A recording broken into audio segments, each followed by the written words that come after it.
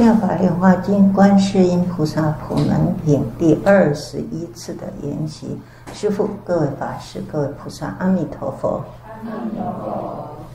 嗯，普门品有长行跟寄送的部分。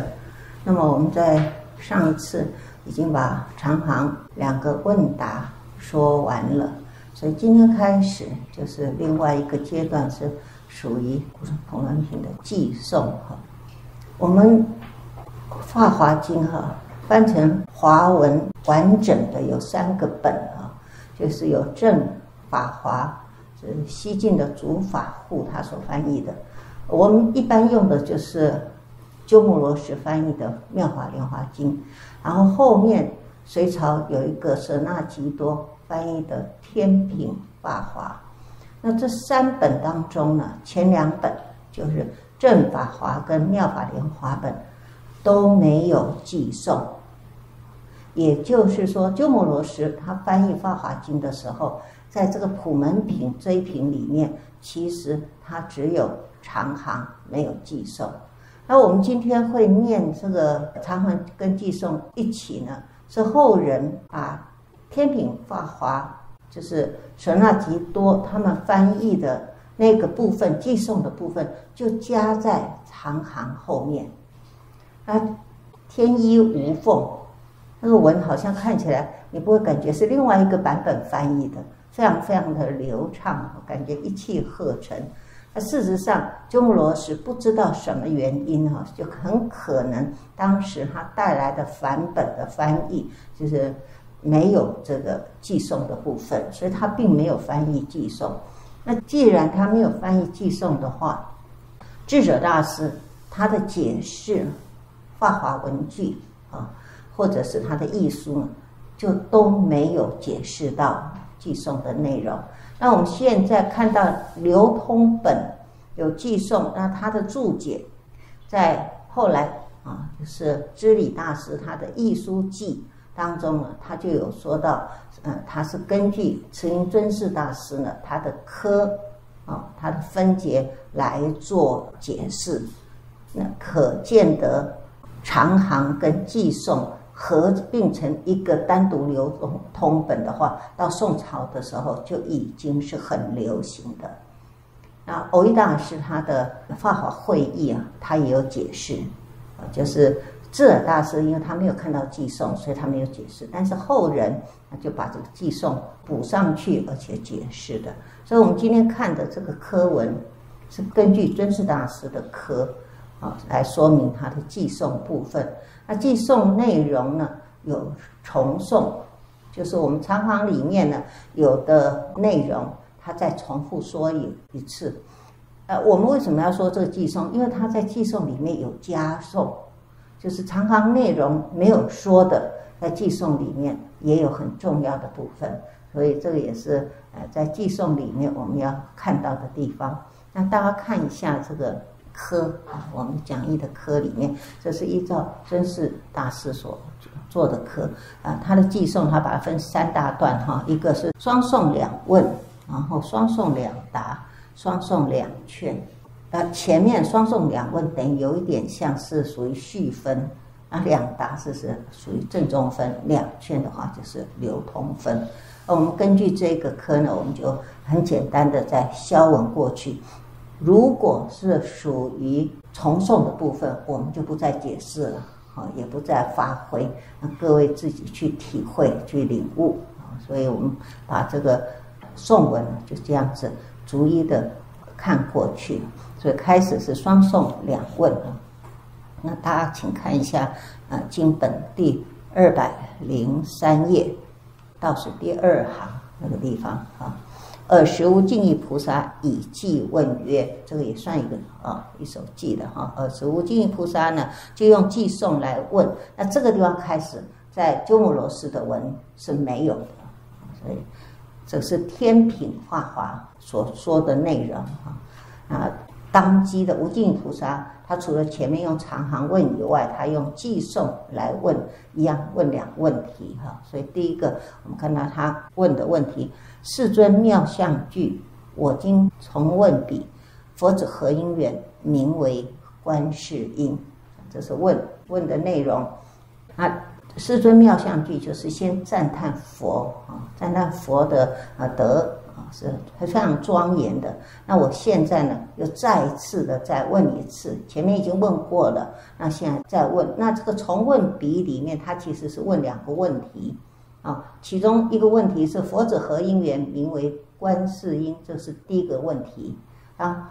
含两个问呢，后面的那个问他就没有写出来，可是用那个从问笔的那个从里面就是含两个问，就是他云何有此说佛世界？其实在这句里面也含在里面啊。然后再来的话呢，就是双送两答啊，双送两答当中呢，第一个先总叹行愿，就是佛呢来赞叹观世音菩萨的呃行愿的功身。所以具足妙相尊，即达无尽意啊！汝听观音恨，善应诸方所。这个是第一首偈，就是说佛，这个是具足妙相。这个尊尊就是世尊呐啊，用偈来回答。你用偈问，我就用偈来回答。那这两句呢，是经家序词。就是翻译的人就写出他的这个过程，那下面的六句才是佛正答啊，总叹的行愿里面，他说：“汝听观音恨，善应诸方所。”这是总答。总答里面，你知道，呃，观音菩萨的所有功恨啊，里面呢，你要谛听谛听啊，就是说要闻思修，都要仔细的了解观音菩萨呢，他是善应。诸方所啊，他非常的呃善巧的呼应所有的地方、所有的众生、所有的情况。这里面讲到是普门神通之力。下面讲弘誓深如海，力竭不思议，次多千亿佛八大清净愿啊啊，这个是总说观世音菩萨他的愿力不可思议。啊，一般来说，我们说弘誓深如海。弘誓的话，如果讲所有的诸佛菩萨，一定都是有发弘誓，一定有发誓愿的哈。没有不发誓愿的菩萨或者是佛。那以通愿来说的话，啊，我们都会讲是四弘誓愿。啊，四弘誓愿的内容是通一切的佛菩萨啊。观世音菩萨，他也一样发四弘誓愿的内容啊，像海一样的深，然后他是历劫不思议，就是观世音菩萨他中间啊，就是修行的过程当中，是以行来填愿啊，他的发的愿，然后他的修菩萨行里面是非常不可思议，时间是非常的久。就是因为他时间非常的久，所以他事多千亿佛，他所侍奉的佛也有很多，所以发的愿大啊，所行的功恨呢也很深，所以呢成今天观世音菩萨的应化二身。欧益大师说，譬如水涨船高哈，泥多佛大，这个文字很漂亮。就是因为他时间多，那时间多都不是空虚度日啊，所有的时间里面都在侍奉佛，都在修行，然后都在用行来填满他的愿，所以他的水呢越来越高啊，水来越水涨了，那船就越来越高，来讲是他的功恨。那下面讲发大清净愿，这是讲观世音菩萨他所发的愿呢，是非常的清净。呃，一般来说，前面的弘誓深如海是四弘誓愿，就是通愿。那发大清净愿，我们也可以指他的别愿啊，观世音菩萨的别愿。观世音菩萨的别愿来说，我们在观世音大士赞当中有唱到说，呃，十二大愿是弘深。可是慧老说哈，他查遍大藏经，观世音菩萨的十二宏愿他没有看到，不知道观世音菩萨发什么十二愿呢？他认为这个十二大愿呢，应该是十六大愿的这个笔误，就是古代抄写的时候有错误，因为他根据大悲陀罗尼经里面有观世音菩萨发的十六大愿，啊，所以这个是讲到这个发大清净愿。如果要讲别愿的话，就像弥陀四十八愿啊，药师如来的十二大愿，那么观世音菩萨，呃，我们唱算是十二大愿，但是他依据考据来说，他说应该是十六大愿啊，也都是愿愿都是清净大愿，这是总叹行愿，然后下面呢就是别送两答，就是个别来回答观世音菩萨。的两个问题啊，第一个呢，先总答，我为汝略说，闻名即见身，心念不空过，能灭诸有苦。就是佛就说，我现在呢，再简单的说一下这尊菩萨的威德。如果我们能够闻名啊，有这个听到观音菩萨名号，就有。口业啊，就是口业，所以因为你闻名，你就会称名，所闻名跟称名是一体的，这是口业机。然后健身，你会看到观音菩萨的时候，你会顶礼啊，闻名称名，健身顶礼，这是身业机。心念不空过。知道观音菩萨的种种功德的时候，从我们心上能够得到相当的体会跟领悟的时候，你念念观世音，在观世音菩萨的这些功德名号、这些威德，从我们的心念里面呢，都能够不空过的话，这是意业机。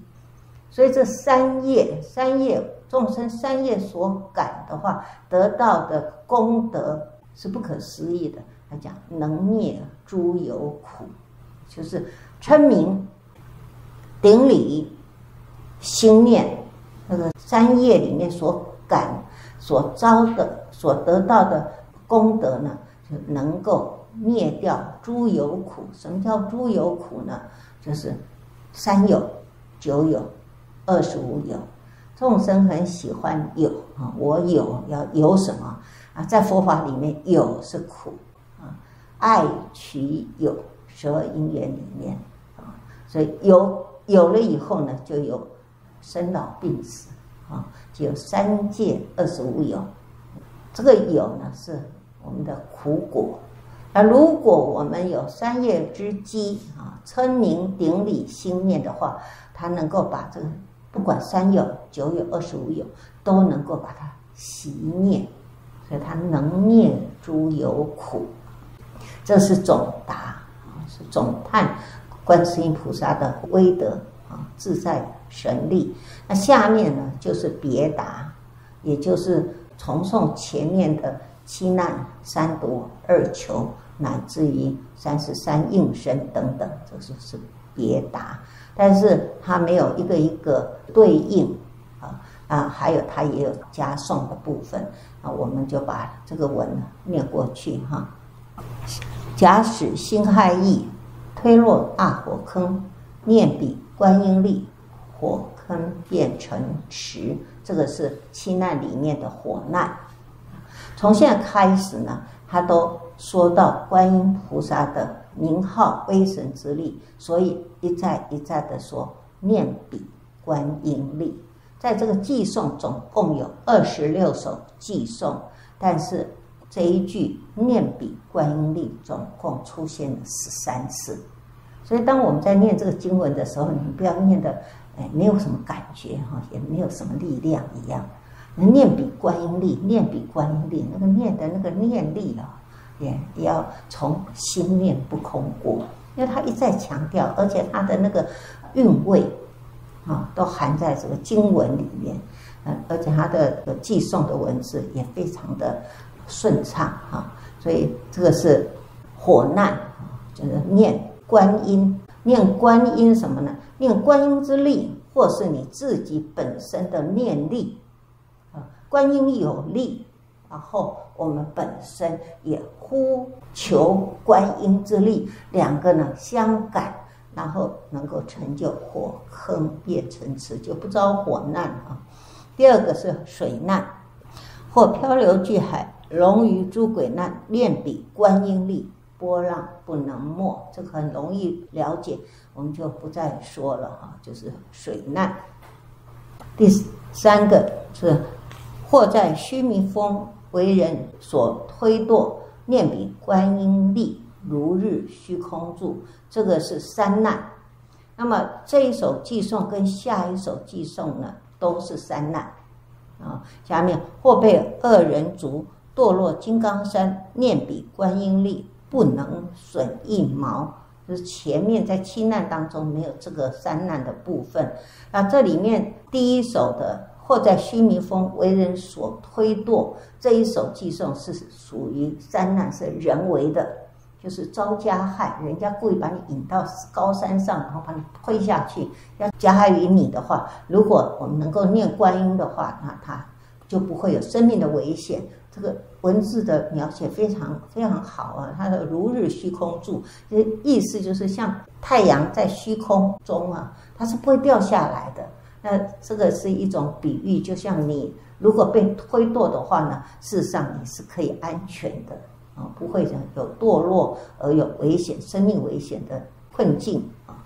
那讲到须弥峰，这是最高的山，高山都不会有困难，更何况小山。对，这个是人为的。那堕落金刚山是你自己不小心啊，啊，被恶人逐被恶人追追逐，然后你自己跑的时候，自己不小心掉下去。掉到山下的时候，念比观音力，不能损一毛啊！前面是如日虚空住，这个地方是不能损一毛，那一毛都不能损的话，更何况你身上任何地方会有损害，是讲到了极致，就是加送三难，这是两个送。下面或执冤贼绕，各执刀加害，念彼观音力，咸即起慈心。这个是重诵前面的冤贼难啊。或遭亡难苦，临行欲寿中，念彼观音力，刀寻断断坏。这个也是重诵前面的第四个的刀杖难啊。或囚禁枷锁，手足披丑谢。念彼观音力，自然得解脱。这个也是重诵前面的第六个的那个枷锁难啊。然后再下来一首寄颂是：咒诅诸毒药所欲害身者，念彼观音力，还着于本人。这个是加颂，就是前面没有这个咒诅诸毒药的这个困扰啊。这个地方把它啊写出来，就是。有的时候呢，你是被被人所害，那他用什么样方法来害你？他是用咒，就是恶咒。有的人持恶咒，他能够驱使鬼神来杀人。这个有的地方会有这种情况啊，他要害你的时候，因为你念比观音力，这个恶咒没有办法伤害你，而恶咒呢，反而他反弹回去，伤害到那个要。持咒的人或想害人的人，所以这个是还着于本人，回到本人的这个苦恼当中。那这首偈呢，苏轼、苏东坡他认为这样不好啊，这样子还是没有慈悲心，不够慈悲，因为那个毒咒呢没有害到你，但是反而回去害到那个持咒的人。所以他说这个文字不好，应该改成那个还作于本人，把它改成两家俱没事，这样子啊，就是皆大欢喜。呃，独奏没有用。偶一大师说哈，你这种改法叫做见识单薄，你只知其一，不知其二啊。这个经文不能随便乱改的。他说你这样子来说的话，你不知折射之妙，不知道菩萨的。该摄受你的时候，他是用慈悲的摄受；该用折服，就是属于较严厉的，属于比较能够使你改过的严厉的手法的时候，那他还是会用折的方法啊，使你能够有一点的知道因果的道理所以，我们这个地方用四十二章经来比喻的话是最好的。那佛就有说，如果你要。仰天而唾的时候，对着天你要骂他，你吐痰的话，你的那口水啊，反而就会拖到你自己的身上啊。所以逆风扬尘呢，尘不自比，也是还喷举身呢。贤不可毁，对贤人你不可以加害他的，你加害他的话，祸必灭己力量会回来。这里面在讲因果啊啊，我们会说明佛法的不可思议。前面讲很多观音菩萨的救度事迹，种种的不可思议的内容。那么佛门里面的不可思议，还是建立在因果上面。那因果有界内因果，有界外因果。界内是思议因果，界外是不可思议的因果。啊，那界内的这种思议因果，我们比较能够感受得到啊，好人好报，恶人恶报这个。那界外的不可思议因果，它是有因果，但是那个转变在心的质量的转变，所以你心的质量如果有改的话呢，它所产生的这种功德呢？那就不是用我们的那个有限量心能够了解的，但是你还是心要转变，心如果不转变，全部都说我我念比观音力哈，观音包到底啊，什么都事情都帮你处理完，那是不可能的，因为这样子的话就变成跟外道一样，啊，我就信上帝，我什么事情呢，就是上帝就可以救我，那要要不然的话，《守莲经》里面欧南不是自己也认为说哈，我是我佛从弟哈。然后呢，我靠佛的话，就不劳我修，我就不用修行，我靠佛就好了。呃，修行还是自己要有那份的发心。那你所缘的境界，就不思议境界。当你的所缘境的时候，你产生的是不思议的因果啊。所以我们还是不可以把这个因果呢破坏掉。所以这个地方呢，不可以随便就把它改了，就说两边都没事情了，那这个就会破坏因果。那下面是鬼难哈，或与恶罗刹、毒龙、诸鬼等念彼观音力，时悉不敢害，这是第五的鬼难。然后再来是加送的，加送的就是若恶兽围绕，力牙抓可怖，念彼观音力，急走。无边方，这个是恶受难。前面的长文里面没有这个难啊，这是多加来，就是说，如果你被这个恶兽，譬如说豺狼虎豹啊，乃至于恶犬之类的，然后呢来跟你围绕，或者是恶龙啊、诸鬼等要加害你的时候，那你念彼观音力，实息不敢害啊。这个是前面没有的，然后在下面。元蛇及呼蝎，气毒烟火燃，念彼观音力，寻声自回去。这个也是加送蛇蝎难啊。这个圆有的时候也可以念丸哈，丸蛇或者圆蛇，反正它都是一种毒蛇啊。那腹蝎呢，也是指毒虫。或者毒蝎就是毒虫、毒蝎，然后它们是很毒的，气毒呢是很那个毒气是很猛的、很盛的。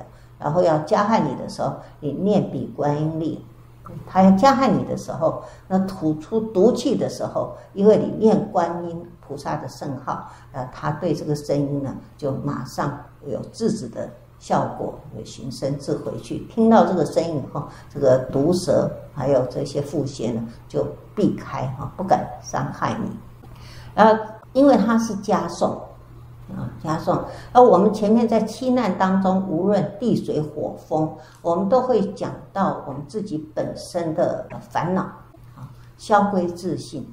在这个元蛇及腹蝎的时候呢，可以看到你会碰到外毒，要有。这些毒兽啊，毒蛇要来伤害你的时候，因为你念比观音力，观音是慈悲啊，发出慈悲的那种磁场的时候，那毒是嗔毒啊，怒啊，嗔毒跟慈悲这两个是不相应的，磁场不相应，所以你越慈悲，它那个毒呢越不能加害你，所以有观音菩萨的慈悲力的加持，所以没有办法使我们受难。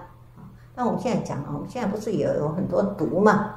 外面有很多毒啊，你就怕中毒去打那个防疫针。我们多念观音啊，人家防卫力量，就是我们要念念，后面会讲念念护身仪呀。嗯，如果说那个毒蛇、附蝎或者恶兽围绕都没有办法加害的话，那那个属于细菌的病毒，那么小的更不可能会伤害到我们的。啊，所以这个是外毒。那我们本身的内毒是什么？其实我们也都在养毒啊，我们养的哈肥肥胖胖的，养的很好，而且还还害害怕它不够毒啊。本经里面讲说，其实啊，我们每个人都有四大，四大地水火风，四大是什么？四大就是毒蛇。所以我们的四大毒蛇，我们怕它长得不好啊，都要让它能够稳定生长。如果中间有哪一个水不好的话，就是你发烧的话，那就是表示你那个水的那个毒蛇呢，它被火那个毒蛇呢所攻击了。所以这个是对我们自己本身来说，我们不太能够关照到自己本身的那个身见。对自己的身体呢，是会非常非常的爱护。其实我们是在养毒蛇，那毒蛇怎么样呢？那寻声自回去了，不是说把它消灭掉，这个是要转变的。那毒蛇是害的，你要把它转变，转变成有利的，转变成护持的，转变成慈悲的。所以我们看到这个释迦牟尼佛，释迦牟尼佛他成道之后啊。啊，我们有一张像，就是他在打坐，盘坐在那打坐的时候，他后面是什么？后面是一只很大的蛇。昨天前天我们去上课，上荒野的学人修的课，他才才讲到这个释迦牟尼佛打坐后面的那个蛇叫什么？什么蛇啊？金刚眼镜蛇。那就不是一小小毒虫、小蛇，那叫金刚眼镜蛇。为为了这个事情，我特别今天写个简讯去问他，什么叫做金刚眼镜蛇？那我觉得也很有趣。他告诉我们说，佛经里面的任何的表法都有它的用意的，他不会随便找一个物类呢来做比喻。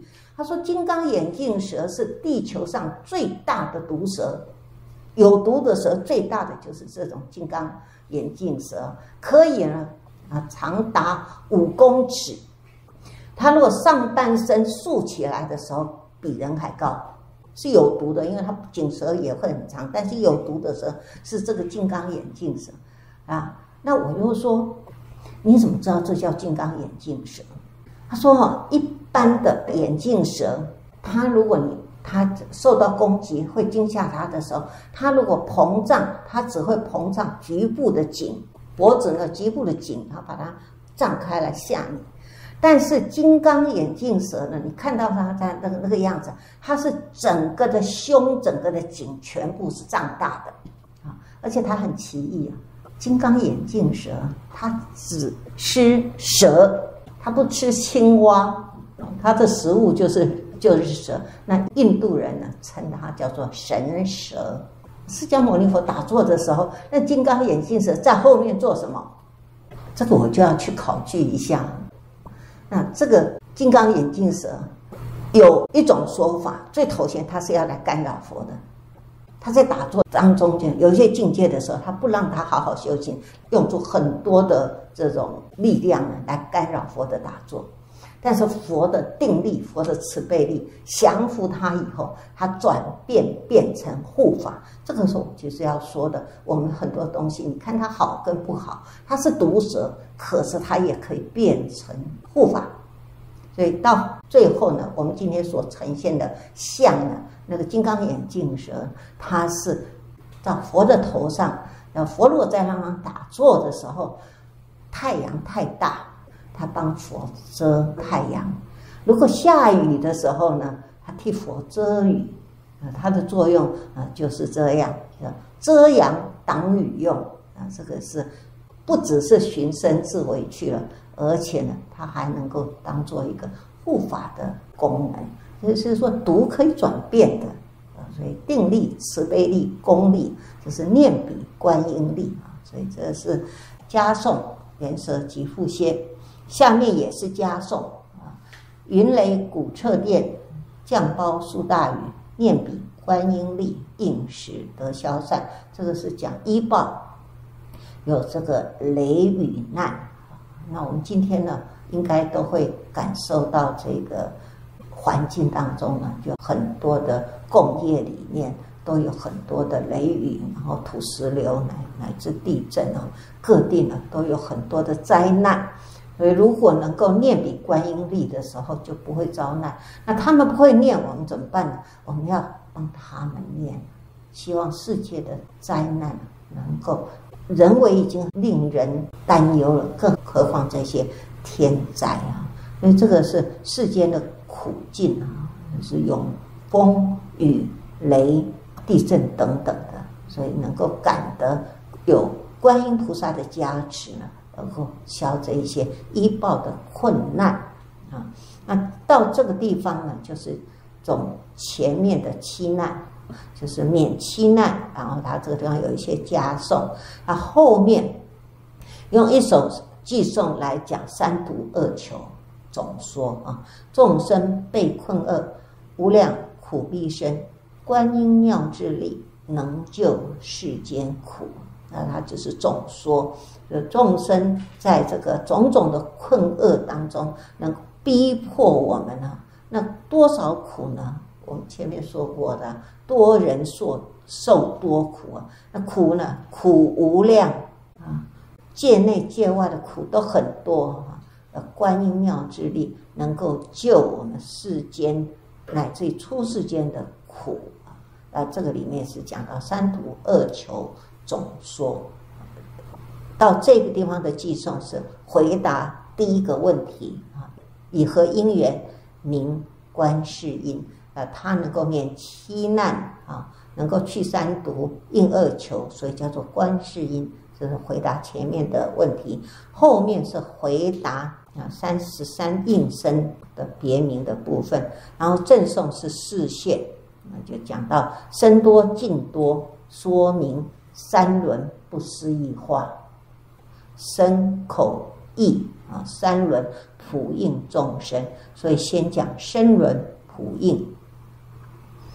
具足神通力，广修智方便，十方诸国度无差不现身。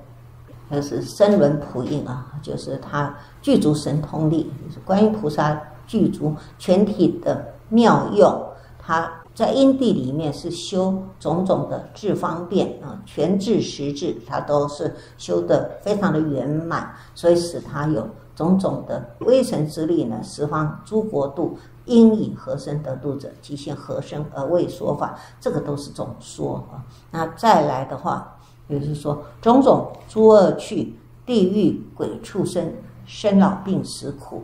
以见息令念，这还是深夜。但是这首寄颂呢，在前面三十三应声当中的就没有讲到地狱鬼畜生啊，三恶道，呃，常常没有，可是在寄颂里面就把它补了。所以在三恶道当中呢，种种诸恶趣，就地狱也也有很多啊，恶鬼也有很多，畜生也有很多多种类。那这些呢，都能够渐渐的。脱离三恶道之苦，然后来自于人道的啊生老病死苦，我们的呃生命当中的种种无常现象，也能够皈依观世音菩萨，修观音菩萨的观音法门的话，那就以渐息令念，就是渐渐的啊菩萨的救度循循善诱啊，就是渐渐的把我们引至于归常极光净土。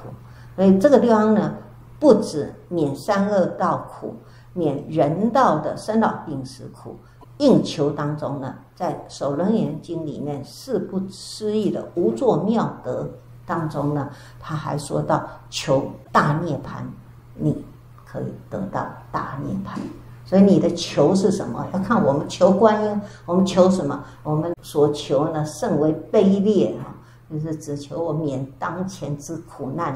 其实他更希望是渐渐把这些二死哈，就是变异生死、分断生死都能够消灭，都能够求涅槃得大涅槃，能够了生死。那这个功德、这个功用、这个修行，都可以依观世音菩萨来做我们最好的护持者啊。这个是深夜深夜的普印，然后呢？再下来是异业的普观啊，真观、清净观、广大智慧观、悲观及慈观、常厌常瞻仰，这个是我们讲五观度世。这个五观呢，贞观、清净观、广大智慧观、悲观及慈观，这五个观，我们在讲这个品的时候，观世音菩萨普门品的时候，在讲释名解释这个品的名字的时候，我们要简单的说过去啊。解释观世音的时候，那个观，我们用真观、清净观、广大智慧观、悲观及慈观来解释什么叫做观世音的观。可是它的意义很多，内容也很深。可是我们的很多，我们只能稍微尝到一点味道。什么叫五观？我们讲到一心三观：空观、假观、中观，那是前面的贞观、清净观、广大智慧观。然后悲观及慈观是讲到自利利他的部分。啊，利他拔苦与乐的部分，所以这个是要用法法的深度内容，你去感受到什么叫做观世音菩萨，然后感受到他的威德，感受到他的慈悲神通，所以我们才常愿常瞻仰，嗯，能够希望愿啊愿希望跟观世音菩萨一样，他有这个五官布施，我们呢？也能够修行这个五观，所以他讲常愿。你瞻仰瞻仰观世音菩萨，是希望跟他把手共行，是希望跟他同体的话，那他的这个五个观呢，我们就要学习，要熏习，要修行啊。所以这个是讲意业普观啊，五垢清净光，慧日破诸暗，能伏灾荒佛。普明照世间啊，无垢清净光其实就是解释后面那个慧日啊，就是他的智慧日呢，他的智慧的般若功德呢是很清净的，是无染的啊，他的功德能够破诸惑，所以你如果有智慧的话，那个三惑见思尘沙无明，要靠什么来破呢？靠智慧，那个慧日可以破诸暗。所以不要执着，不要重点于我们的惑。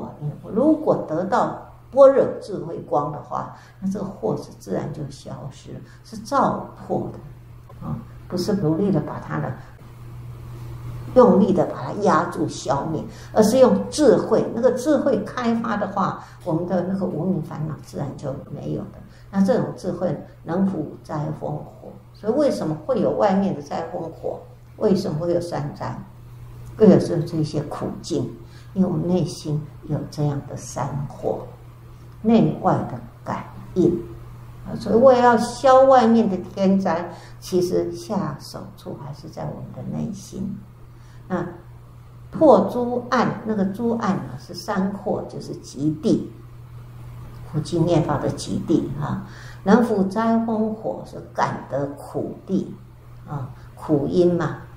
感的苦果啊，普明照世间呢，这是道地，就修般若，用智慧，然后就是照见五蕴皆空。如果说我们的身清净的话，性清净的话，外面的境界就清净了。这个是意业普观，下面是口业普说，悲体戒雷震，慈意妙大云。述甘露法语，灭除烦恼业啊，呃，说明菩萨的口业所呈现来说法度众生里面呢，是能够使我们的烦恼都消灭的。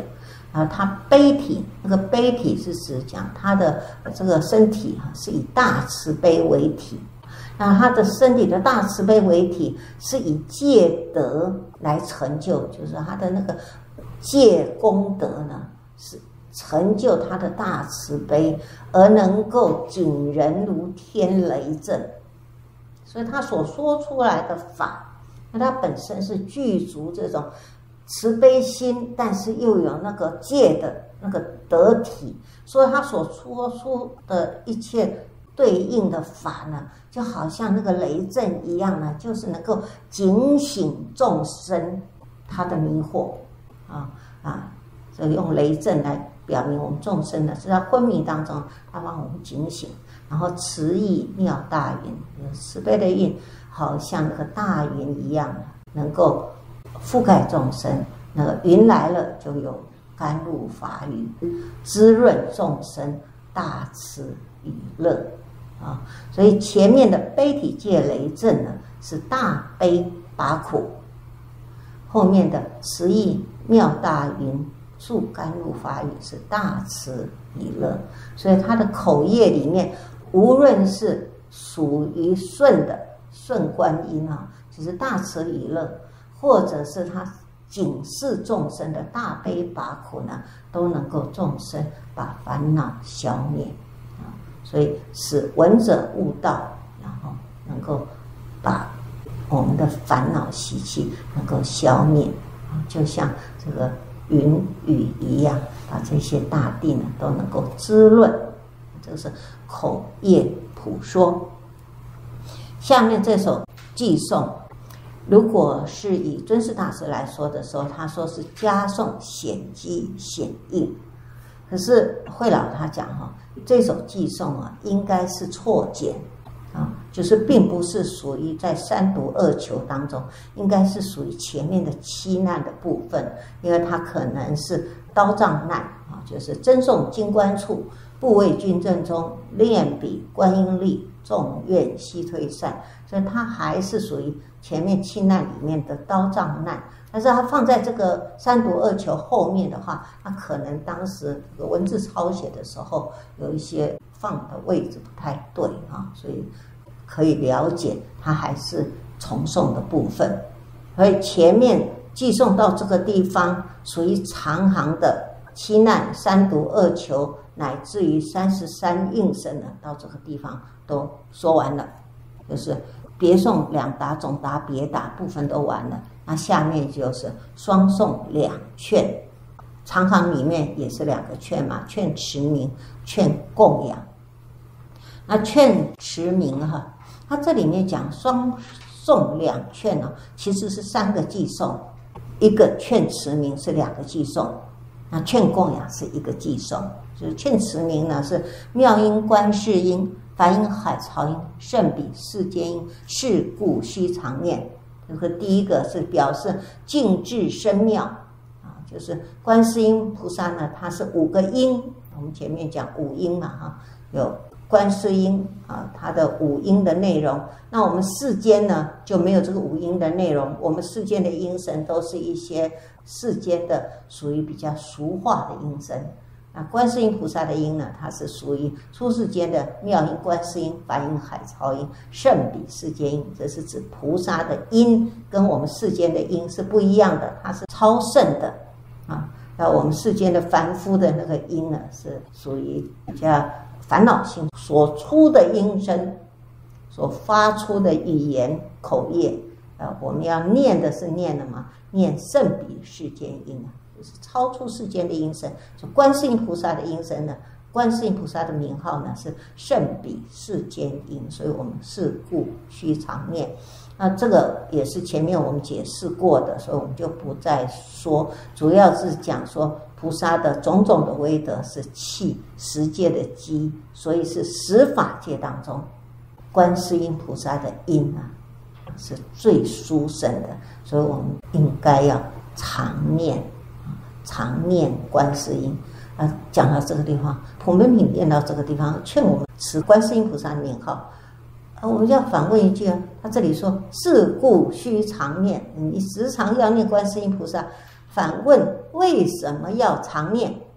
他劝我们哈，你要常念观世音菩萨，那我为什么要常念？因为他是妙音观世音，他是梵音海潮音，他是圣比世间音。这个五音的内容，如果了解的话了，你不会不念的意思啊。如果知道它是妙音观世音、梵音海潮音、圣比世间音的话，你会啊称念观音名名号啊。呃，这个是讲它的静智深妙，然后呢劝说你在念的当中呢，你就不要生疑惑，因为它感应难测啊，念念勿生疑啊。常念正念当中，念中呢是没有那个疑的烦恼，这是警戒我们，就是你在念当中呢，不可以失一毫一滴的烦恼，一毫一滴的疑念，因为观世音净圣与苦恼死恶能为作依护，读完普门品对菩萨的这个圣德威神之力，你要有全然的信心。观世音菩萨在种种的苦恼前面讲当中，最大的苦恼是什么？以我们当前来说，最大的苦恼是死厄，生命之苦。啊，就是最恐惧的、最大的部位，那观世音菩萨都能够做我们的医护啊，依靠救护，最大的能够让我们安全。所以，如果我们有这方面的信心，完全没有一念的时候，一去则念成。在念这一句圣号的当中，你心里面是通声靠倒，完全的信任的时候，那你的那个这个念那个功德就成就。如果这个持念的功德成就的话，二时可脱，这是欧益大师说的。就是念力的功德不可思议，所以念比观音力。除了念观世音菩萨的力之外，我们自己本身念观音的那个念力，念力如果没有生一念成的话，它的功德是两生脱死，还不止分段生死，连变异生死都可以以见其灵念。他这个功德是不可思议的哈，所以他这里面是劝我们这个普门品里面，对于持名这一个修行方法非常的着力，就是最简单，我们常说是最简单、最方便，又功效最大、最快。为什么道理在那里？因为全凭佛力，全凭果地的功德，以果地觉为因地心，两个因果相应。他的那个法力所呈现出来的，所以念念勿生疑。它不止除我们种种的苦恼，连生死都可以脱，都使我们能够跨越这个轮回生死之苦。那是何其难，也是何其的恩德。所以这普门品当中啊，我们读到观音菩萨他的功德，所以有持名这个念佛方法，就有人说。那我如果念观世音菩萨的圣号，我可不可以往生极乐世界？我们一般来说哈，就阿弥陀佛发四十八大愿啊，你持我名号的话，往生极乐世界。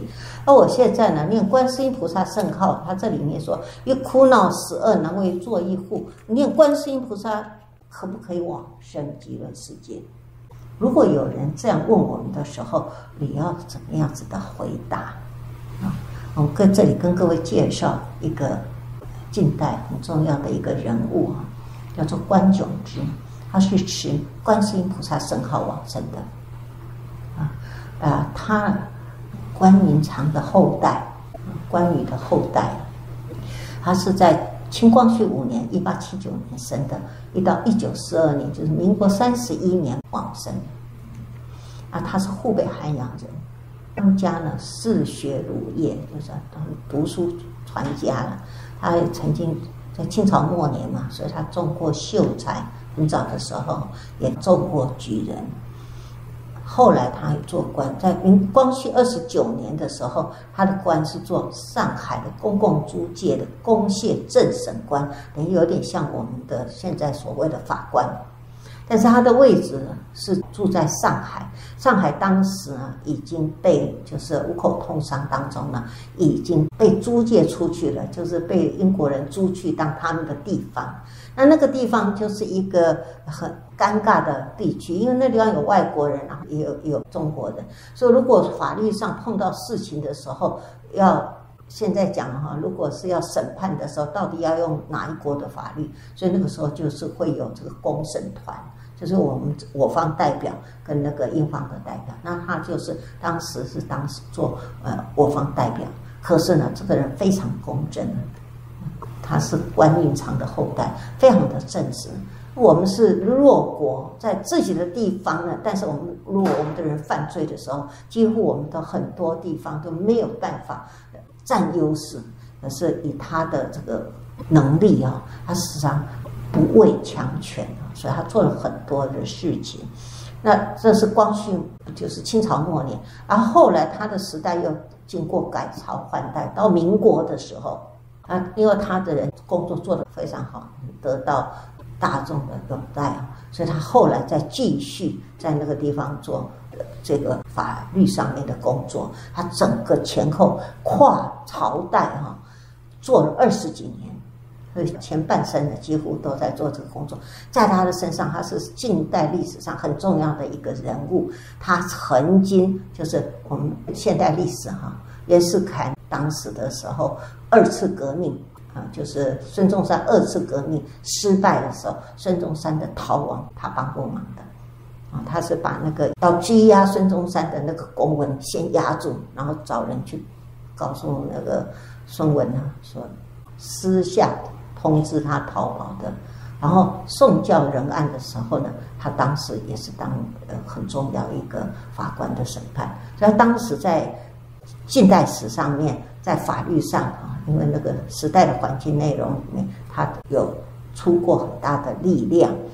他一九一八年，民国七年，印光老法师呢，他在扬州科《安世全书》，他在无意中呢，就是看到《安世全书》这本书以后，从此改变他的人生信仰啊。他说他人生找到归一处。他就学佛，那这样子人一学佛以后，他完全用他后面的后半生的力量，全部发挥在佛法的弘传护教修行上面。啊，那个时代哈，很多的军阀的混乱，然后呢，八国联军啊，对外来说呢是各国亲邻，对内来说我们自己本身又打得乱七八糟，啊。啊，这个时代，然后呢，天灾人祸，那个时候水灾火灾也是一样，非常的多。在那个时候呢，他发挥很大，因为他学佛弟子，然后他又是属于上流名士，他发挥很大的这个护教的力量。所以他一学佛以后，他就在上海组织了居士林啊，上海佛教居士林是大陆第一所的居士林，然后办净业社，提供给。大家来修行，然后请法师来讲经，啊，延云法师啊，星子法师啊等等，当时当代的这些大师呢，他都请他们来讲经啊。啊，当时他也办了赈灾、收难民，他还办那个义游院，还办佛教公墓。我看他的工作，他行善事业简直说不尽，太多了。红十字会他也是参与里面的啊啊，民国政府要。寺庙财产呢，要把它呢当做教育机构的时候，还要护寺产的时候，他也出非常大的力量。所以印光大师对他非常非常赞叹。他说：“上海假如没有关炯之的话，今天没有办法能够保留这样子的程度。所以他是一生呢，完全做在护法的工作，啊，修行的工作。那他一生持观世音菩萨圣号。”啊，修观音法门，他曾经呢，而且他对那个印光大师非常的尊崇啊。他曾经在普陀山打佛七，打佛七的时候，他一直呢希望请印光大师来佛七道场请开示。印光大师啊，就是盛情难却，就答应他，他就说好，那我就吃早斋之后给大家做一个简短的开示。而他打佛七哈，我看一下，他应该是在这个下面的会计室啊，啊，印光大师住在法语室啊，是两个不同的身份。所以早在之后要讲一点开始的话，那时间很紧迫，所以呢，他也很贴心，他半夜就请人家呢雇了一一台轿子啊，要去让那个印光大师啊坐轿子到这个打佛七的这地方来开始。那这个是轿子啊，受命要去请印光大师的时候，这轿子到一半的时候，那个印光大师根本是走摸黑走路，已经下来到一半了。那他从头到尾他都不肯坐轿子，后来印光大师住在那个上海的太平寺，在那个地方，因为有一些科进的事情啊。所以他在那个地方暂时住下。他知道以后，他非常高兴，他要去拜访印光大师。他说到太平寺去找啊，楼上楼下全寺庙找光光啊，就找不到印光大师。就后来看到在哪个地方找到呢？在天井，在天井地方呢，看到一光一个老师傅在那个地方洗衣服。嗯所以他讲到这个老和尚的这种平易近人，然后还要请老和尚啊吃一顿饭，他就怎么样不肯。那再请，他说好了，你实在要请，那我吃饭我只吃馒头配豆腐。你如果请我这个哈，我就去。这不是在寺庙吃哦，就是在外面请他吃一顿饭。果然啊，要顺师之教啊，那师傅要这样说，所以他那那顿饭请老和尚吃饭，然后有一些陪客，那餐餐桌上放的是什么？馒头加豆腐，所以表示他的尊崇。那印光大师跟他就是有很多指示他去正做赈灾的这些工作。这个人的重要，就是后来赵朴初居士，就是我们大陆那个中国佛协。负责人赵朴初叫他舅舅。赵朴初居士他会学佛，是因为赵朴初居士他是在安徽人。那个时候市局很动乱的时候，他父母把他送到这个上海，就是租界地比较安全，就送到这关囧之这个地方。那时候赵朴初先生十四岁。啊，张朴初呢，他一生写的好好字，字写的非常的漂亮，要看他这个。外甥哦，字写那么漂亮，他就叫他，因为他做很多佛教工作，所以他很多的文书、很多的来往，全部都叫他回写。所以赵朴初居士在他那个地方就开始熏习佛法，而且他们时常请了法师啊来讲经。从他那个地方呢，学佛的熏习，在关中这个地方呢，得到很大的影响。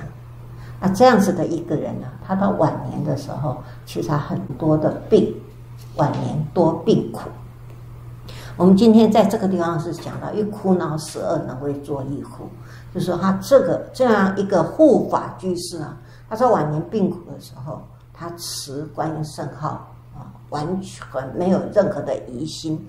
他在民国三十一年的七月二号的时候，他叫造不出来，到他的床前跟他开示，他说：“哈，我此时啊，心中。”甚为清净，因为他虽然生病，病得很重，可是他跟赵朴初说：“我此时呢，心中甚为清净，我一切都能放下。所以啊，放下不是人家劝你放下，他告诉人家说我放下了，我专心求生净土，自觉求生净土并不难。”他觉得求生净土不能，我现在已经一步一步往前走，走向西方了，所以他并没有怕死啊。而，我病中常观，我观普陀山的河池啊，就是我们讲那前面的普济寺啊，河池跟那个普济寺的那个观音大士的像，啊，想到观音大士的救度苦厄，希望他能够接引往生。啊，接引他往生。那赵朴初居士呢，就说：“那是不是我们请道友来助念？”他说：“可以，就请道友来助念，请他们来帮我念观音。”所以赵朴初居士呢，就请法师来。最头前，他请德胜法师来。这个德胜法师就是在印光大师旁边很重要的一个助手，然后还有几个居士来，所以大家呢就在跟他助念。那德胜法师看到大家在跟他念念观世音菩萨圣号的时候，他说：“不行，不能念观音，你要往生西方要念弥陀。”所以劝他呢改念弥陀。啊啊，这个要生病要往生的人，他还居然可以在这个时候呢跟这个法师说：“还是念观音好了，我喜欢念观音啊。”德胜法师啊，就怕他了，执着念观音是要求长寿的，所以你还是要改啊。他说我不改了，我就是要念观音了。这个这个囧老啊，就是关囧之啊，就跟德胜法师说，观音接引往生西方，跟弥陀是一样的。印光大师文超，印光大师那时候已经往生了，所以印光大师文超也是这样讲，不要改了。那那旁边那时候赵朴初就在讲说哈，就跟那个德胜法师说，我我这个舅舅哈舅老对观音很纯熟，要顺他的意思，所以后来德胜法师就不再坚持啊，所以大家就念观音啊，又再请星慈法师来来说法啊，跟他说你就念观音啊，你跟观音心心相印，你一定往生。那囧老就非常高兴，说：“我但求待业往生，就是边地化成，我也甘愿哈。但是哈，大家做念那个声音太快了啊，念的不清楚，慢慢念。所以心慈法师就领众慢慢的念观音圣号，念了两个小时。啊，心心慈法师有事情要离开，宗茂很舍不得，他说我很喜欢你在这地方助念。我说不行，我是要离开，所以他还是离开。离开以后，大家继续助念。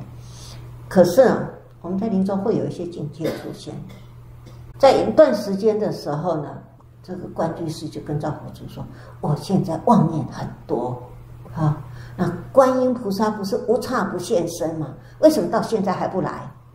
啊，为不现前，赵福祖就跟他说：“菩萨在你的心里面，不管你见跟不见，你但仅靠观音变得加持。我真会，真会开示啊！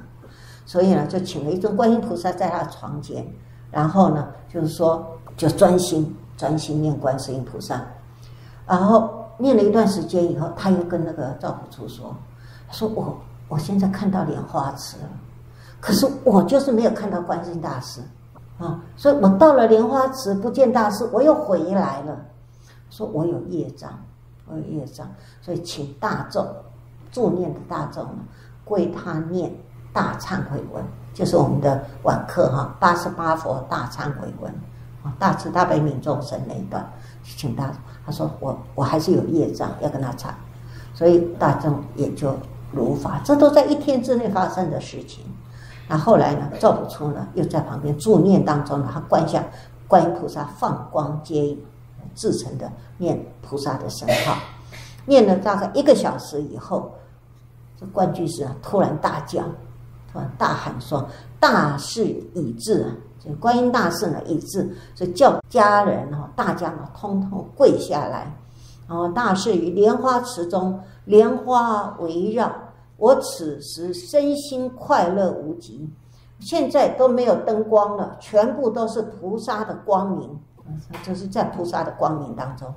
那赵福初就问他：“你有看到阿弥陀佛吗？”他说：“没有，没有看到阿弥陀佛。但是大事非常的清晰。”很清楚的，那赵普初说：“你只看大事就好了。”那当时就二十几个人在旁边跟他助念。他讲这样之后呢，他的眼光目光呢常驻于虚空，就是眼睛一直看虚空，不再说话。所以这是七月二号一直念三天，三天到七月五号三昼夜，菩萨的圣号没有断绝，到中午十二点二十分的时候。这个观居士呢，气息渐微，然后到后来就自然就就走了。就是念观音圣号，中间有人叫他改哈，他还能够决定说，我就是不改的。那么这个问题，因为我们当今会有一些人有这个问题，你如果一生受持观音圣号的话，那是不是可以借大师之语呢而得往生？由他来做证明。那这个问题，我曾经当面问过李老师。啊，李炳南老居士，我说如果持观音圣号，可不可以得往生？李老师的回答是说，他说观音大师是西方三圣，是可以，就是念大师名号是可以得往生，但是要看他念观音圣号的那个动机。他说念观音圣号而求往生，那就得往生。可是我们一般的人早上念观音，晚上念弥陀是什么意思？白天的时候是求消灾，晚上的时候才说哈，那是念弥陀往生西方。所以一般我们念观音都是属于消灾，比较没有说称大事而求往生的。那你如果是称大事，你好，他在这个地方讲说，于苦恼死厄能为作医护的话，你喜欢念观音，然后求观音加持，让我往生啊，这个也是因果相应，是没有问题的，不用叫他改。啊，只是怕说他念观音的动机是属于哪里？你那个因果要相应啊。这个是劝持名，后面的那首即是劝供养哈。具一切功德，慈眼视众生，福聚海无量，是故应顶礼。观音菩萨呢，是具一切无量的功德，他是慈眼视众生的啊。那他有极大的功德，所以呢，我们闻名。我们称念应该顶礼，那顶礼就是三业供养。啊，所以用称名来结第一个问问答，然后用劝供养。那什么样子的供养呢？就是顶礼，是法供养。所以顶礼就是法供养。所以我们的寄送呢，整个的寄送是以顶礼做结束，做这个我们这个法的寄送这个轮结束。那这个的寄送是鸠摩罗什大师没有的，但是鸠摩罗什还是有后面的二十十地菩萨的这个后面的这个的文啊，所以寄送在这个地方感觉。没有完，啊，到这个地方为止呢。是故应顶礼，是劝供养，可是你会感觉他并没有完。那太虚大师在民国二十八年在昆明佛教会的时候，他就有说过，他说这个版本哈，应该是还结尾还缺译。可是呢，民国二十八年、二十七年是对日抗战，所以那个时候等在大后方。啊，人性还没有安顿。他说这个事情呢，定论留待后人再找梵文来对照。民国五十七年的时候，李老师啊，他在讲普门品啊，在数学语录里面他说哈，他只看到李碧成居士他所翻译的英国的克尔恩士啊，他翻译的普门品，那他的翻译他只看到两首记。那如果是能够七首记，那是这个。资料里面应该七手记，他说如果能够七手记诵全部看得到，那不不知道应该有多好。所以他当时这样讲以后呢，李老的弟子啊，都非常孝顺，他们就开始找找遍中外所有的图书馆、所有的藏书里面，看能不能找到这个李碧成居士的这个英华合璧的《妙法莲华经普门品》。后来皇天不负苦心人，他在。北京的图书馆里面呢，馆藏书当中呢，就找到这本书，那是民国二十二年上海佛学局出版的书，所以他们呢后来就有把这一个七首寄送跟长行的三句出来。那目前来说，就是鸠摩罗什大师他没有寄送，可是在梵文本他是有寄送的。而从梵文本翻过来的那个版本里面，就是藏文本。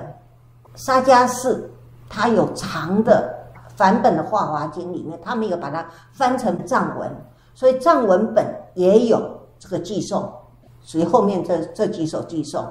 那星云大师他的《普门品》讲话。他是翻译日本人生下大元的注解，那这个日本人呢，他是也是透过这个梵文本而做的注解，所以他也有翻译成寄送啊，所以他这个的寄送也有。那我们今天所看到的这个是吕碧城居士他所翻译，从克恩寺，他从梵文本翻成英文，然后李碧成居士呢再把它翻成中文。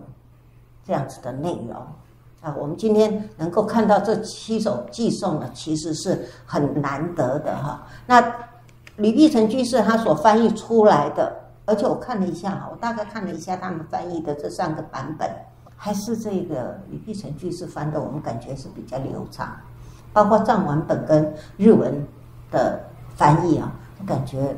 比较呃，我们比较文字没有那么顺畅啊。李碧成居士他的长行有三句，长行的三句里面呢是在我们大家看一下经文哈，两百一十页，第二句哈，生老病死苦，以见息令灭这个地方，这个地方呢之后它就有长行的三句。那就说无尽意菩萨闻佛所说，心中心悦而说偈曰：“就长行三句是从这个地方切断前后的偈文。那这个地方很重要，就表示我们刚才所消的文全部是佛说的。啊，真观、清净观、广大智慧观，这好像是佛在赞叹观世音菩萨。可是如果这个地方从梵文本翻译过来的话，那这一个地方是无尽意菩萨。”闻佛所说，心中心悦而说偈言。从下面开始的偈颂文是无尽意菩萨的赞叹，呃，赞叹的人不一样啊，所以他就开始真观、清净观、广大智慧观，一直到最后翻过来二百一十二页，啊，具一切功德，慈眼视众生，福聚海无量，是故应顶礼。到这个地方，寄诵其实是没有完的，后面还有七首寄诵，就是我们今天给各位在讲义上面有七首，啊，七首寄诵的内容。那这七首内容非常非常重要，啊，那我们看过一下哈，大概看念过一下，比如是慈悲，就是。无尽菩萨赞的观世音菩萨的哈，第一首，比如是慈悲，一时当成佛，为是除忧患，我心十月福，所以很像是菩萨的口气嘛哈。诸王比为尊，功德富于旷，历界勤修行，正道最无上。第三首即辅翼阿弥陀，势力其左右，慧力能种持，禅定成无漏。至尊阿弥陀，西方有净土，阿弥辅众生，是彼常居处。彼国无女人，唯有诸佛子，身从幻化身，皆作净莲地。至尊阿弥陀，宝座莲花上，花中放光明，照耀最无量。赞彼功德藏，三界无能比。彼为宇宙师，我辈数一亿。这是七首寄颂。那七首寄颂，我们没有时间解释，但是我们讲它的重要性，就是在说明观世音菩萨的居处及来历。从这个地方可以感受到，这个李碧成居士讲到说，说到他的居处跟来历是非常的完善，而且是连中有力之证，不亚于华严之普贤行愿品。啊，所以在这七首偈颂里面，说出观世音菩萨他是居处在什么地方，是彼常居处嘛？我们看第四首偈颂，啊，阿弥陀众生是彼常居处。所以我们在前面无尽菩萨在问的时候，云何由此说婆世界？云何而为众生说法？我们说那个由字，游字就表示他不是住在这里的。当时我们有问说。观世音菩萨住在哪里？啊，他才来这个地方游一游而已。那他回去，他就回去哪里？他住在什么地方呢？这个地方讲是是彼常居处。他住在什么地方？住在西方极乐世界。按说你这样子说，这是确实如此吗？你要看经文的含义，是很有很有表法的意思。《法华经》观世音菩萨普门品是第二十五品，它的姐妹品是第二十四品的妙音菩萨品。妙音菩萨从什么地方来？妙音菩萨从东方来。啊，这个我们去看经文，就是说完东方菩萨来这个地方，然后讲完他的功德，回去以后，下一品就是讲西方的菩萨。啊，所以他这个是安排是有次第的。东方菩萨完了，讲西方菩萨。那西方菩萨呢，就是讲的观世音菩萨。那观世音菩萨从西方来，来由此娑婆世界。他本居处呢是在阿弥陀佛，他的本尊佛是阿弥陀佛。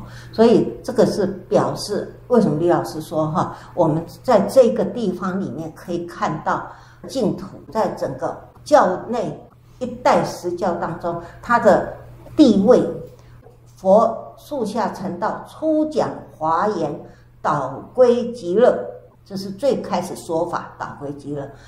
佛的一代十教的中说，最后讲法华涅盘，法华涅盘从这一品当中，我们也可以看到，它也是指归净土。所以史说中说，我们要了解这整个教内的内容，我们才能够说哈。如来所以心出世，为说弥陀本愿海，你才能说我我一句佛号念到底。为什么念到底？它里面包含的华严化法的意趣是无穷的。你教理里面，你需要去看到的时候，呃，才会知道说，哎，它有处处指归的那个意义，或是呈现在什么地方。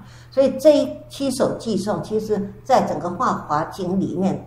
表示他的指归净土是很重要的，啊，是也能够展现观音菩萨他由此说佛世界，然后辅助弥陀接引众生，能够度苦恼死厄，接引往生西方。啊。所以这个地方我们跟各位讲的这个补充的这七首寄颂是。有幸能够看到这七首寄颂呢，今天呢都呈现在前面，后面后面还有哈经文啊，经文里面后面还有一个文品功德啊。尔时持力菩萨即从坐起，前摆佛言：“世尊，若有众生闻是观世音菩萨品自在之业，普门示现神通力者，当知是人功德不少。”就是持力菩萨出来赞叹。啊！赞叹观世音菩萨的功德里面，他其实是赞叹众生，众生都是包括我在内。我们有这样的福报，能够听到观世音菩萨这一品的自在之业，观世音菩萨的普门示现神通之力啊！普门示现神通力的话呢，那是功德不少。那这一品经的发起众是。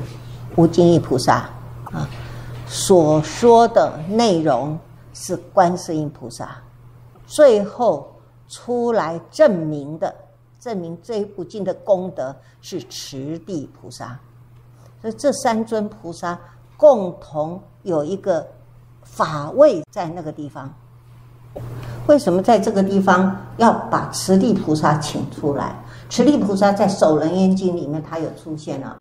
二十五圆通章当中呢，他表地大，持地菩萨啊，那个佛呢跟他说：“你啊不用去平平地，当平心地，世界地一切皆平。”啊，所以啊，这个是讲持地三昧，它的广大，它的平等，它的富饶，它的利益众生。啊，就跟观世音菩萨他们的那个心意，其实都是心心相印的。所以法华大臣哈，就是大义法师，他也说哈：“阳春一曲，贺者随乎啊？赖持地聊分晓。”只有持地菩萨，呃，他们的程度相等呢，才知道呃，证明观音菩萨的自在之业，普门示现神通力。哦，所以啊，如果我们也能够熏习到一些的话，当知世人功德不少。哦，玉大师说，你闻就功德不少，而且持地出来做证明，更何况我们去受持，更何况我们去思维，更何况我们去学习观音行啊！现在很多人都说他是修观音法门，那观音法门到底是什么样子的内容？从前面的持名到后面的供养。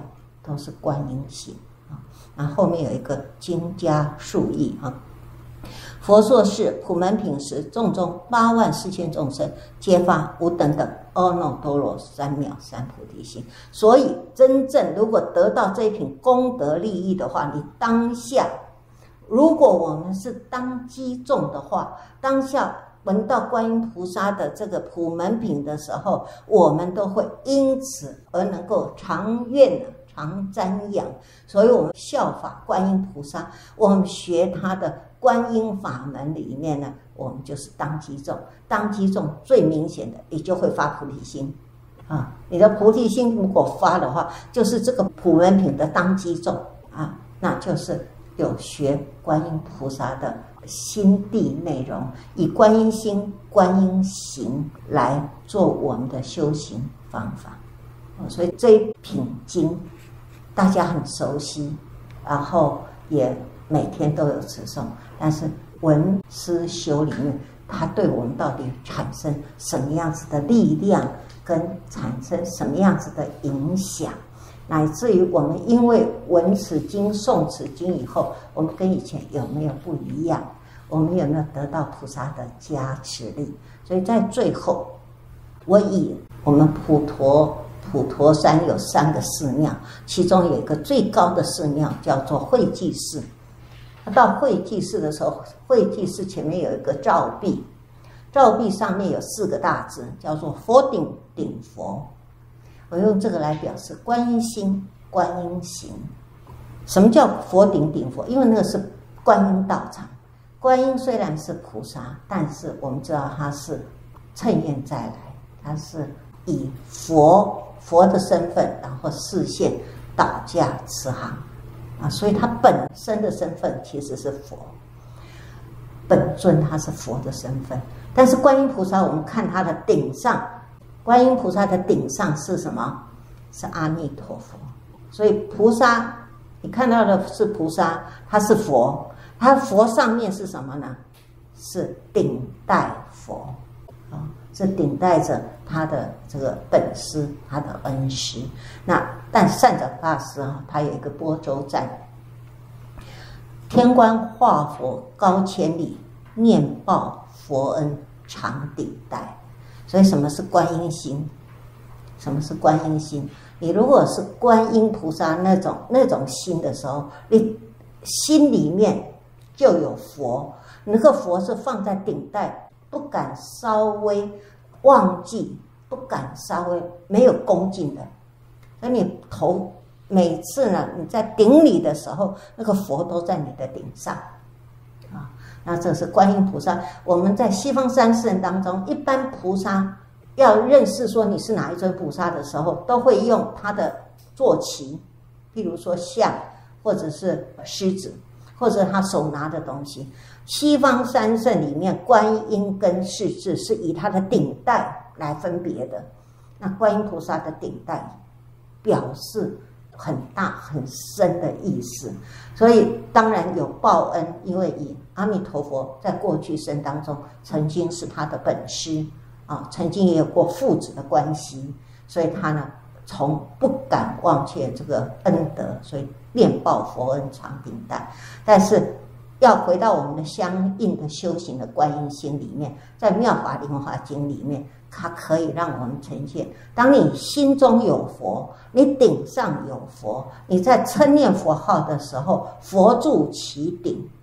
所以十六观经里面的是心作佛，是心是佛。你心里面做佛的时候，佛在顶上的时候，你就是心作心事。那心做心事的话，你的心都在佛上面的话，啊，《妙法莲华经》的三法妙就是心法妙，所以心法不可思议。我们能够闻到这样子的法，也是不可思议。